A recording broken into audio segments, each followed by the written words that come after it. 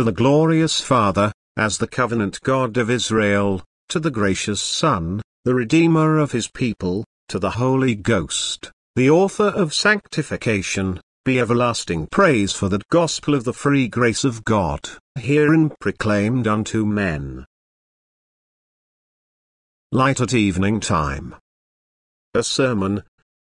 Number 160. Delivered on Sabbath morning, October 25, 1857, by the Reverend C. H. Spurgeon. At the Music Hall, Royal Surrey Gardens. It shall come to pass that at evening time it shall be light. Zechariah 14, 7. I shall not stay to notice the particular occasion upon which these words were uttered, or to discover the time to which they more especially refer. I shall rather take the sentence as a rule of the kingdom, as one of the great laws of God's dispensation of grace, that at evening time it shall be light.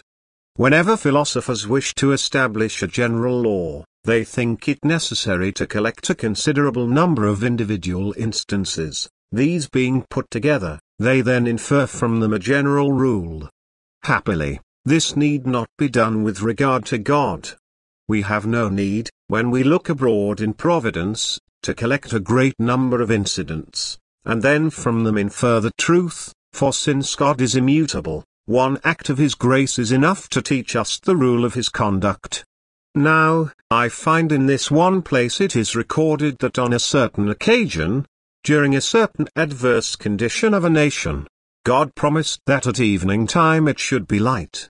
If I found that in any human writing, I should suppose that the thing might have occurred once, that a blessing was conferred in emergency on a certain occasion, but I could not from it deduce a rule. But when I find this written in the book of God, that on a certain occasion when it was evening time with his people God was pleased to give them light, I feel myself more than justified in deducing from it the rule, that always to his people at evening time there shall be light. This, then, shall be the subject of my present discourse. There are different evening times that happen to the Church and to God's people, and as a rule we may rest quite certain that at evening time there shall be light. God very frequently acts in grace in such a manner that we can find a parallel in nature. For instance, God says, As the rain cometh down and the snow from heaven, and returneth not thither, even so shall my word be, it shall not return unto me void. It shall accomplish that which I please, it shall prosper in the thing whereto I have sent it. We find him speaking concerning the coming of Christ, he shall come down like rain upon the mown grass, as showers that water the earth. We find him liking the covenant of grace to the covenant which he made with Noah concerning the seasons, and with man concerning the different revolutions of the year, seed time and harvest, and cold and heat and summer and winter, and day and night shall not cease. We find that the works of creation are very frequently the mirror of the works of grace, and that we can draw figures from the world of nature to illustrate the great acts of God in the world of His grace toward His people. But sometimes God oversteps nature. In nature after evening time there cometh night. The sun hath had its hours of journeying, the fiery steeds are weary, they must rest. Lo, they descend the azure steeps and plunge their burning fetlocks in the western sea, while night in her ebon chariot follows at their heels God, however, oversteps the rule of nature. He is pleased to send to his people times when the eye of reason expects to see no more day but fears that the glorious landscape of God's mercies will be shrouded in the darkness of his forgetfulness. But instead thereof God overleapeth nature, and declares that at evening time instead of darkness there shall be light. It is now my business to illustrate this general rule by different particulars. I shall dwell most largely upon the last, that being the principal object of my sermon this morning. 1. To begin, then, at evening time it shall be light. The first illustration we take from the history of the Church at large. the church at large has had many evening times. If I might derive a figure to describe her history from anything in this lower world, I should describe her as being like a sea. At times the abundance of grace has been gloriously manifest. Wave upon wave has triumphantly rolled in upon the land, covering the mire of sin, and claiming the earth for the Lord of hosts. So rapid has been its progress that its course could scarce be obstructed by the rocks of sin and vice. Complete conquest seemed to be foretold by the continual spread of the truth. The happy church thought that the day of her ultimate triumph had certainly arrived, so potent was her word by her ministers, so glorious was the Lord in the midst of her armies, that nothing could stand against her. She was fair as the moon, clear as the sun, and terrible as an army with banners. Heresies and schisms were swept away, false gods and idols lost their thrones, Jehovah Omnipotent was in the midst of his church, and he upon the white horse rode forth conquering and to conquer. Before long, however, if you read history, you find it always has happened that there came an ebb tide. Again the stream of grace seemed to recede, the poor church was driven back either by persecution or by internal decay, instead of gaining upon man's corruptions it seemed as if man's corruptions gained on her. And where once there had been righteousness like the waves of the sea, there was the black mud and mire of the filthiness of mankind. Mournful tunes the church had to sing, when by the rivers of Babylon she sat down and wept, remembering her former glories, and weeping her present desolation. So has it always been, progressing, retrograding, standing still a while, and then progressing once more, and falling back again.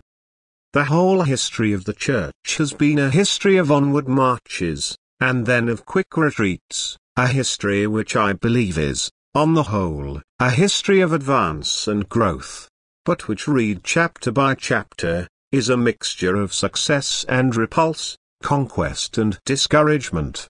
And so I think it will be even to the last.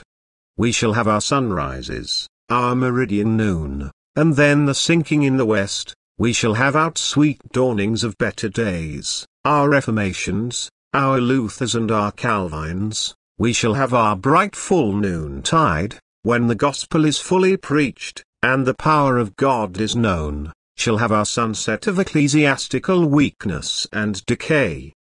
But just as sure as the evening tide seems to be drawing over the church, at evening time it shall be light, Mark well that truth all through the sacred history of the Church.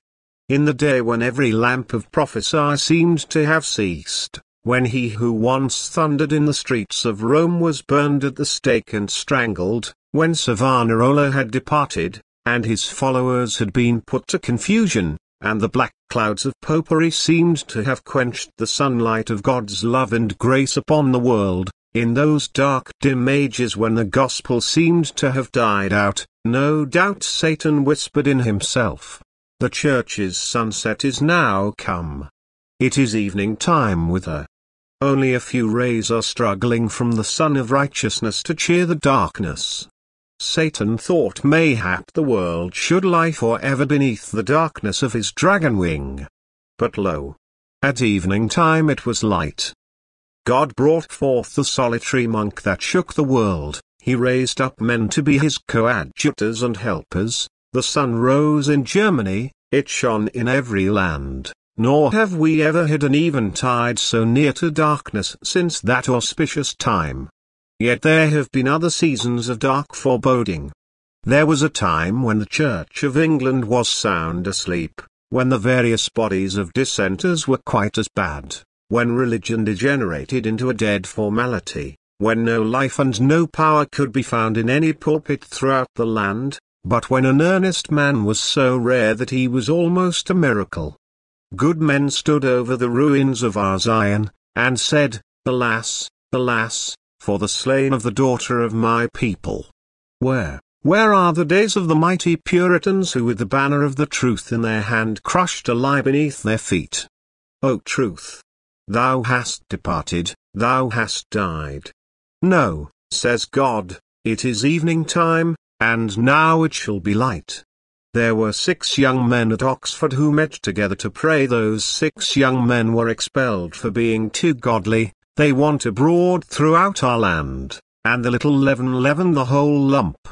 Whitfield, Wesley, and their immediate successors flashed o'er the land like lightning, in a dark night, making all men wonder whence they came and who they were, and working so great a work, that both in and out of the establishment, the gospel came to be preached with power and vigor. At evening time God has always been pleased to send light to his church. We may expect to see darker evening times than have ever been beheld. Let us not imagine that our civilization shall be more enduring than any other that has gone before it, unless the Lord shall preserve it. It may be that the suggestion will be realized which has so often been laughed at as folly, that one day men should sit upon the broken arches of London Bridge, and marvel at the civilization that has departed, just as men walk over the mounds of Nimrod, and marvel at cities buried there. It is just possible that all the civilization of this country may die out in blackest night. It may be that God will repeat again the great story which has been so often told. I looked, and lo, in the vision I saw a great and terrible beast, and it ruled the nations, but lo, it passed away and was not. But if ever such things should be, if the world ever should have to return to barbarism and darkness, if instead of what we sometimes hope for, a constant progress to the brightest day, all our hopes should be blasted, let us rest quite satisfied that at evening time there shall be light, that the ends of the world's history shall be an end of glory. However red with blood, however black with sin the world may yet be, she shall one day be as pure and perfect as when she was created. The day shall come when this poor planet shall find herself unrobed of those swaddling bands of darkness that have kept her luster from breaking forth. God shall yet cause his name to be known from the rising of the sun to the going down thereof and the shouts of jubilee. Loud as mighty thunders roar, or the fullness of the sea, when it breaks upon the shore, shall yet be heard the wide world door. At evening time it shall be light. 2. This rule holds equally good in the little, as well as in the great. We know that in nature the very same law that rules the atom, governs also the starry orbs the very law that molds a tear and bids it trickle from its source. That law preserves the earth a sphere and guides the planets in their course. It is even so with the laws of grace. At evening time it shall be light to the church, at evening time it shall be light to every individual. Christian let us descend to lowly things. Thou hast had thy bright days in temporal matters, thou hast sometimes been greatly blessed, thou canst remember the day when the calf was in the stall, when the olive yielded its fruit, and the fig tree did not deny its harvest, thou canst recollect the years when the barn was almost bursting with the corn, and when the vat overflowed with the oil, thou rememberest when the stream of thy life was deep, and thy ship floated softly on, without one disturbing billow of trouble to molest it. Thou saidst in those days, I shall see no sorrow, God hath hedged me about, he hath preserved me, he hath kept me, I am the darling of his providence, I know that all things work together for my good, for I can see it is plainly so. Well, Christian, thou hast after that had a sunset, the sun which shone so brightly, began to cast his rays in a more oblique manner every moment, until at last the shadows were long, for the sun was setting, and the clouds began to gather, and though the light of God's countenance tinged those clouds with glory, yet it was waxing dark. Then troubles lowered o'er thee, thy family sickened, thy wife was dead, thy crops were meagre, and thy daily income was diminished, thy cupboard was no more full, Thou wast wandering for thy daily bread, thou didst not know what should become of thee, mayhap thou wast brought very low, the keel of thy vessel did grate upon the rocks, there was not enough of bounty to float thy ship above the rocks of poverty. I sink in deep mire, thou saidst, where there is no standing, all thy waves and thy billows have gone over me. What to do you could not tell, strive as you might, your strivings did but make you worse. Except the Lord build a house, they labor in vain that build it. You used both industry and economy, and you added hereunto perseverance, but all in vain. It was in vain that you rose up early, and sat up late, and ate the bread of carefulness, nothing could you do to deliver yourself for all attempts failed. You were ready to die in despair.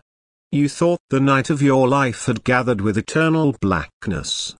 You would not live always, but had rather depart from this vale of tears.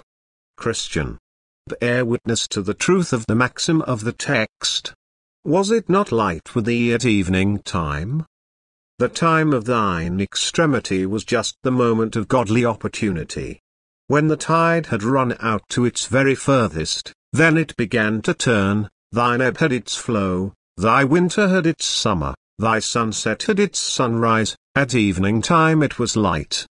On a sudden by some strange work of God, as thou didst think it then, thou wast completely delivered. He brought out thy righteousness like the light, and thy glory as the noonday. The Lord appeared for thee in the days of old, he stretched out his hand from above, he drew thee out of deep waters, he set thee upon a rock and established thy goings. Mark, thou then, O heir of heaven. What hath been true to thee in the years that are past, shall be true to thee even till the last. Art thou this day exercised with woe, and care, and misery? Be of good cheer, in thine evening time it shall be light. If God chooseth to prolong thy sorrow, he shall multiply thy patience, but the rather, it may be, he will bring thee into the deeps, and thence will he lead thee up again. Remember thy Saviour descended that he might ascend, so must thou also stoop to conquer, and if God bids thee stoop, should it be to the very lowest hell, remember, if he bade thee stoop, he will bring thee up again. Remember what Jonah said, Out of the belly of hell cried I, and thou heardest me. Oh! Exclaim with him of old, who trusted his God when he had nothing else to trust, although the fig tree shall not blossom, neither shall fruit be in the vines, the labor of the olive shall fail, and the fields shall yield no meat, the flock shall be cut off from the fold and there shall be no herd in the stalls, Yet I will rejoice in the Lord, I will joy in the God of my salvation. Do thou so, and be blessed, for at evening time it shall be light. 3. But now we seek a third illustration from the spiritual sorrows of God's own people. Godly children have two kinds of trials, trials temporal and trials spiritual. I shall be brief on this point and shall borrow an illustration from good John Bunyan. You remember John Bunyan's description of Apollyon meeting Christian. Bunyan tells it figuratively, but it is no figure, he that hath ever met Apollyon will tell you that there is no mistake about the matter, but that there is a dread reality in it. Our Christian met Apollyon when he was in the valley of humiliation, and the dragon did most fiercely beset him, with fiery darts he sought to destroy him, and take away his life. The brave Christian stood to him with all his might, and used his sword and shield right manfully, till his shield became studded with a forest of darts, and his hand did cleave unto his sword. You remember how for many an hour that man and that dragon fought together, till at last the dragon gave Christian a horrible fall, and down he went upon the ground, and woe worth the day. At the moment when he fell he dropped his sword. You have but to picture the scene, the dragon drawing up all his might, planting his foot upon Christian's neck, and about to hurl the fiery dart into his heart. Aha! I have thee now, saith he, thou art in my power. Strange to say, at evening time it was light. At the very moment when the dragon's foot was enough to crush the very life out of poor Christian, it is said, he did stretch out his hand, he grasped his sword, and giving a desperate thrust at the dragon, he cried, Rejoice not over me, O mine enemy, for when I fall I shall arise again. And so desperately did he cut the dragon that he spread his wings and flew away and Christian went on his journey rejoicing in his victory. Now, the Christian understands all that. It is no dream to him. He has been under the dragon's foot many a time. Ah! And all the world put on a man's heart at once is not equal in weight to one foot of the devil. When Satan once gets the upper hand of the spirit, he neither wants strength, nor will, nor malice, to torment it. Hard is that man's lot, that has fallen beneath the hoof of the evil one in his fight with him. But blessed be God, the child of God is ever safe, as safe beneath the dragon's foot as he shall be before the throne of God in heaven. At evening time it shall be light. And let all the powers of earth and hell, and all the doubts and fears that the Christian ever knew, conspire together to molest a saint, in that darkest moment, lo! God shall arise and his enemies shall be scattered, and he shall get unto himself the victory. Oh for faith to believe that! Oh! For confidence in God never to doubt him, but in the darkest moment of our sorrows, still to feel all is well with us. At evening time it shall be light. 4. Bear with me whilst I just hint at one more particular, and then I will come to that upon which I intend to dwell mainly at the last. To the sinner when coining to Christ this is also a truth. At evening time it shall be light. Very often when I am sitting to see inquirers, persons have come to me to tell me the story of their spiritual history, and they tell me their little tale with an air of the greatest possible wonder, and ask me as soon as they have told it whether it is not extremely strange. Do you know, sir, I used to be so happy in the things of the world, but conviction entered into my heart, and I began to seek the Saviour, and do you know that for a long time, sir, when I was seeking the Saviour I was so miserable that I could not bear myself. Surely sir, this is a strange thing. And when I have looked them in the face, and said, No, it is not strange, do you know I have had a dozen tonight, and they have all told me the same, that is the way all God's people go to heaven, they have stared at me as if they did not think I would tell them an untruth, but as if they thought it the strangest thing in all the world that anybody else should have felt as they have felt. Now, sit down, I say sometimes, and I will tell you what were my feelings when I first sought the Saviour. Why, sir, they say, that is just how I felt, but I did not think any one ever went the same path that I have gone. Ah! Well, it is no wonder that when we hold little acquaintance with each other in spiritual things our path should seem to be solitary, but he who knows much of the dealings of God with poor seeking sinners, will know that their experience is always very much alike, and you can generally tell one by another, while they are coming to Christ. Now, whenever the soul is truly seeking Christ it will have to seek Him in the dark. When poor Lot ran out of Sodom, he had to run all the way in the twilight. The sun did not rise upon him until he got into Zoar. And so when sinners are running from their sins to the Savior they have to run in the dark. They get no comfort and no peace, till they are enabled by simple faith to look for all to Him who died upon the cross. I have in my presence this morning many poor souls under great distress. Poor heart! My text is a comfort to thee. At evening time it shall be light.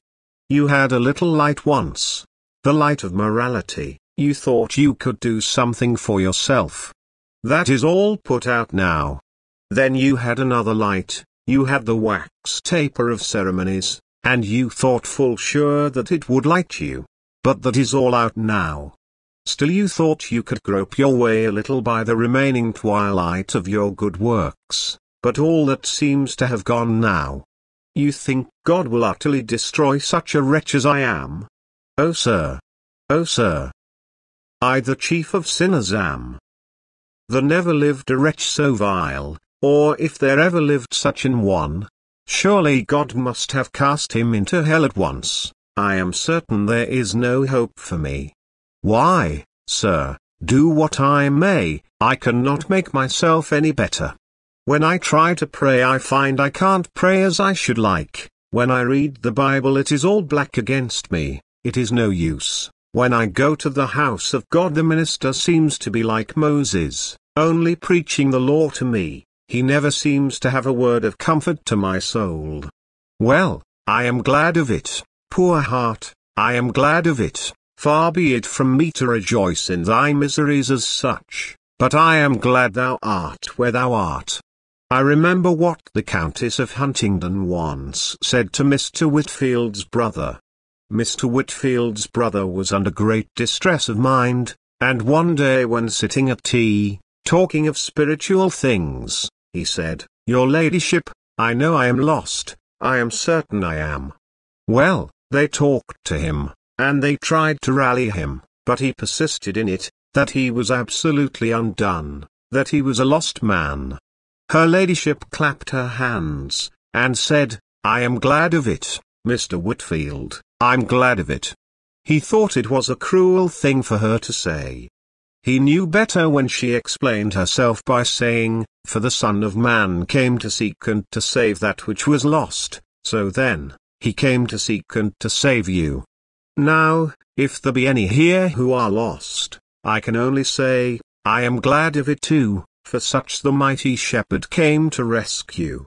If there are any of you who feel that you are condemned by God's law, I thank God you are, for those who are condemned by the law in their consciences shall yet be pardoned by the gospel.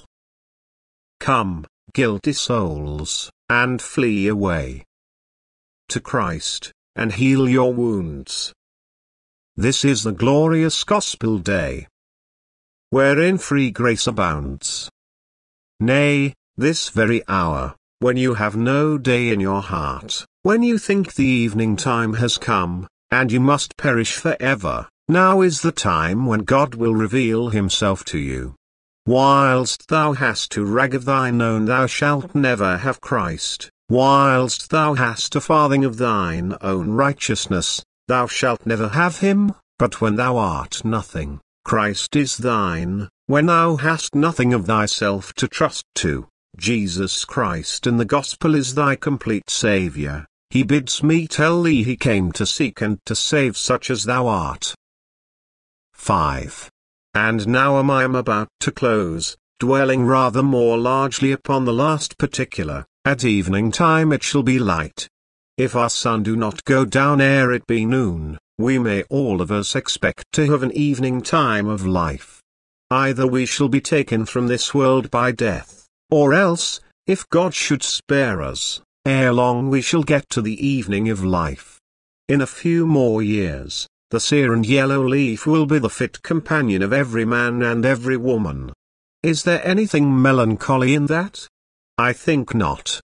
The time of old age, with all its infirmities, seems to me to be a time of peculiar blessedness and privilege to the Christian.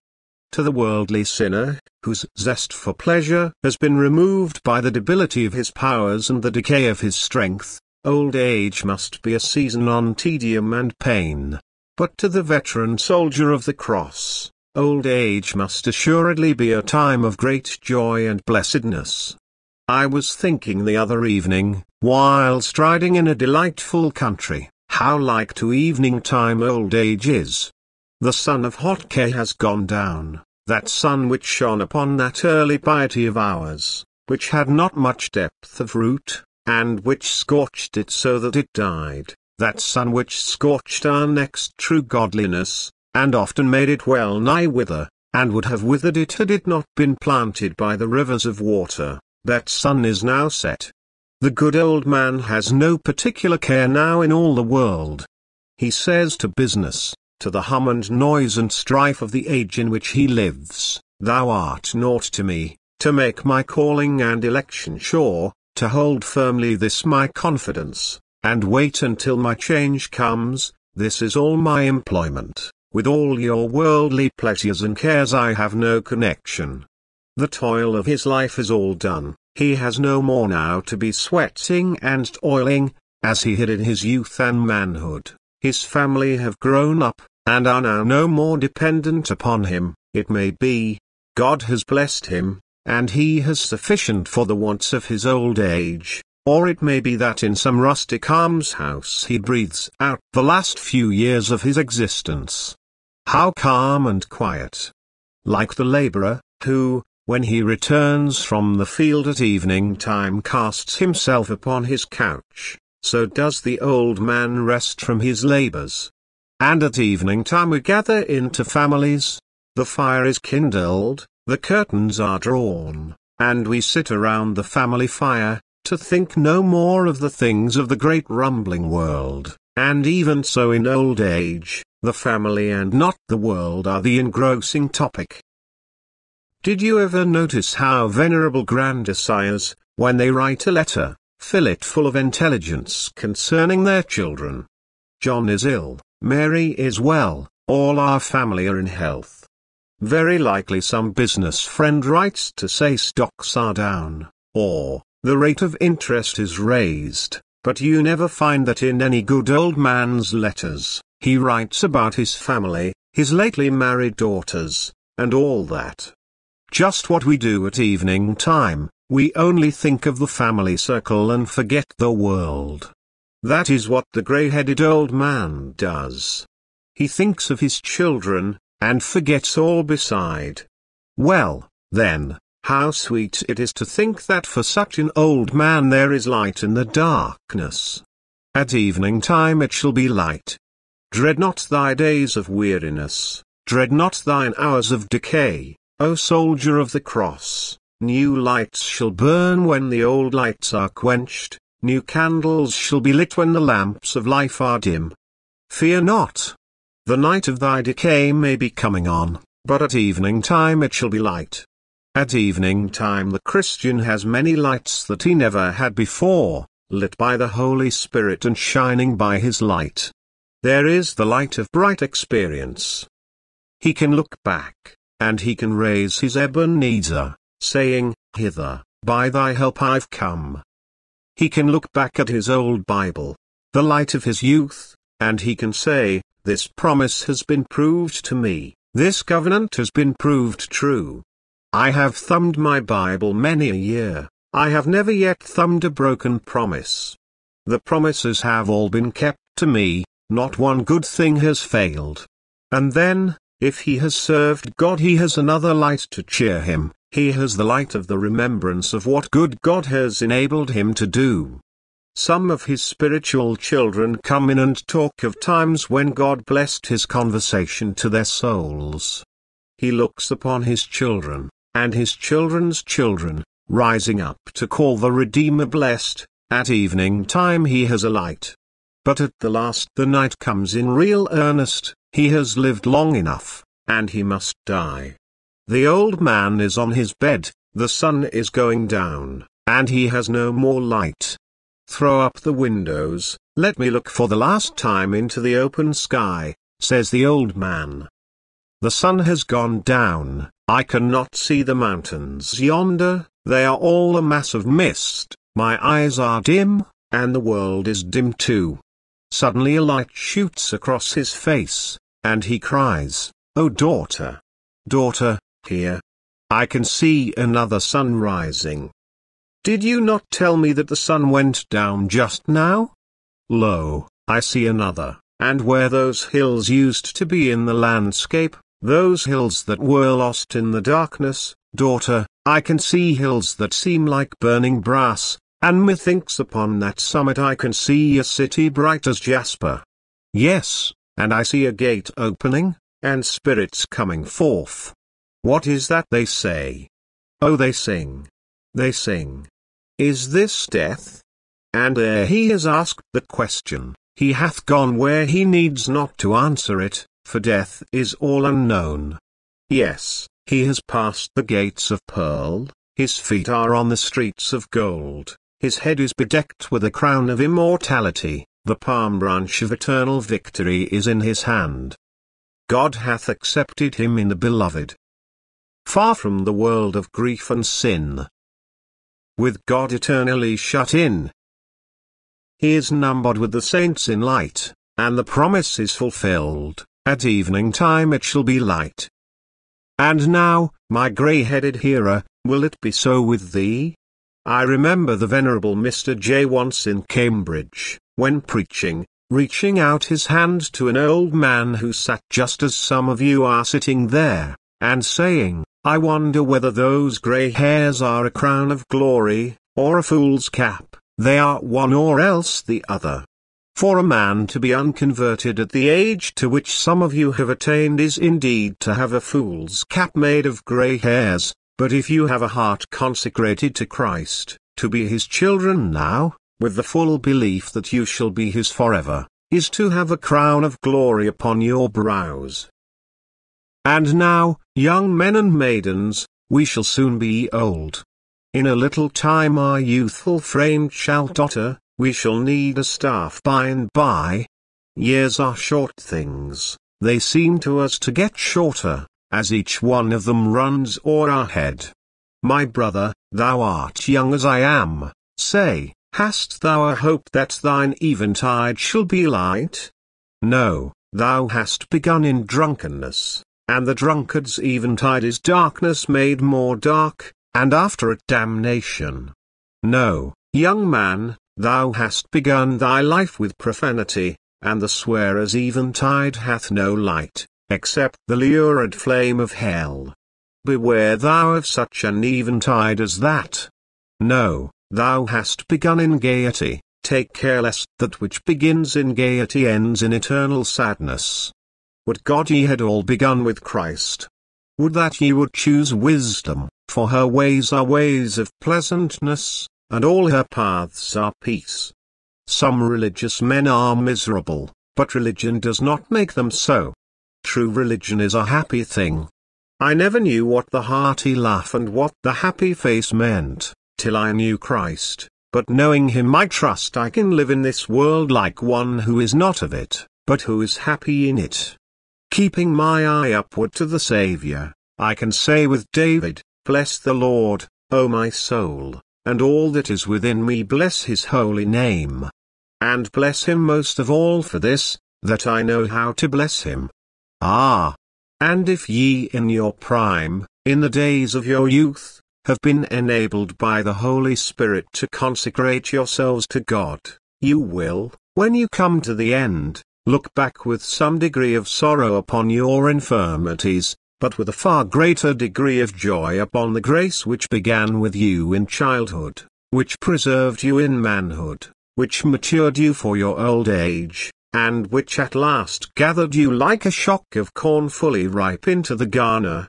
May the great God and Master bless these words to us each, through Jesus Christ our Lord. Amen. Caution. A spurious and very incorrect edition of Mr. Spurgeon's sermons having appeared, persons regularly purchasing the new Park Street pulpit are cautioned against purchasing any sermons without the heading New Park Street Pulpit, which is the only authorized edition.